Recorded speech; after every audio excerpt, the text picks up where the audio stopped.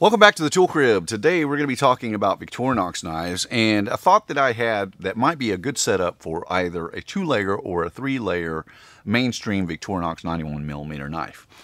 So recently I was able to get my hands on one of the latest tools out of Victorinox. This is the Victorinox Companion and the one implement that it includes that you don't see in other knives is this new package opener which works very well for uh, slicing through clamshell packaging as well as cardboard and incorporates the small screwdriver at the very tip. I think this is a great tool and I think it would fit well in any kind of urban carry tool. Now thinking about that, on the other side of this same layer they use the standard driver uh, bottle cap lifter and wire stripper that locks into its 90 for more torque and can lock out fully extended. Now this is a good tool, but the one thing that this knife eliminates from it is the standard can opener that you'll get in most Victorinox knives. And I know a lot of people like that feature.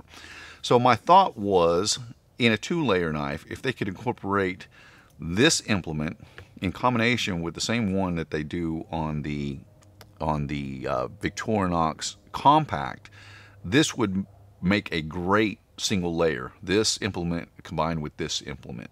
Now on the back side of those, you would get the awl. There's other implements that can be put into the back side of this one, but normally you see the awl uh, behind this layer. I would not be opposed to having it set up like that.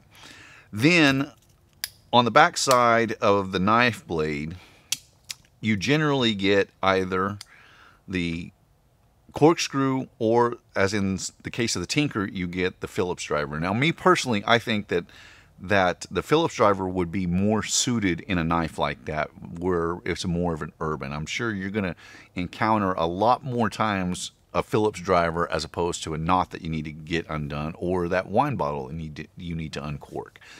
Of course i would not be opposed obviously to setting up the knife the same way but having two different versions, one with the driver and one with the corkscrew, I think that would be great if they did that and give people the option to do or put, uh, you know, to choose which one worked better for them.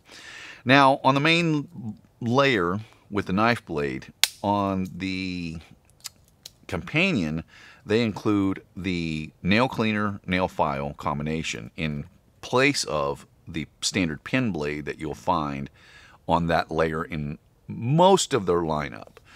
I personally think this is a better option in an urban carry tool to fill out that second layer with the knife blade. And then on the back side, obviously you have either the corkscrew or the Phillips driver. Now when going to a three layer, which this one is, it's a great idea to have the scissors.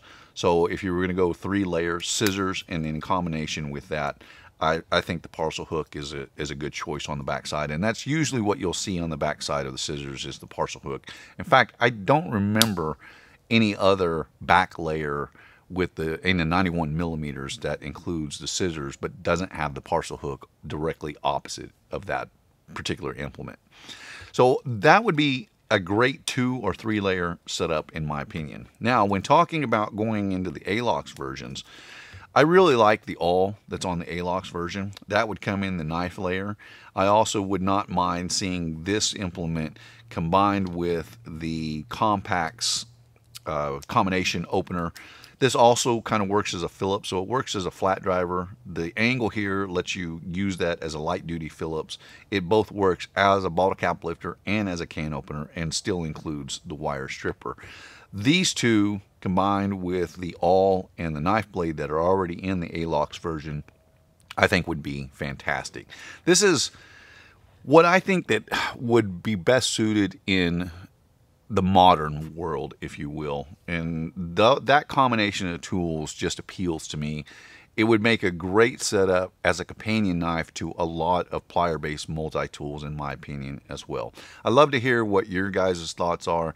If you think that there is something that they could do a little bit different or a knife version that you would most like to see in more of an office or urban setup, I would absolutely love to hear your opinions on it.